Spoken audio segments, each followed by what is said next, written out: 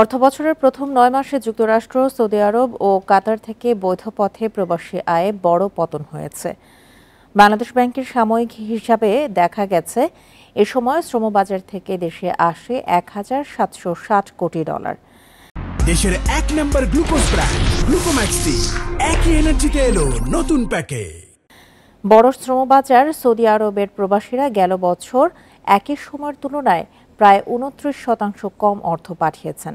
যুক্তরাষ্ট্রের এবং কাতারের প্রবাসীরা যথাক্রমে প্রায় একত্রিশ ও চব্বিশ ভাগ অর্থ কম পাঠিয়েছেন।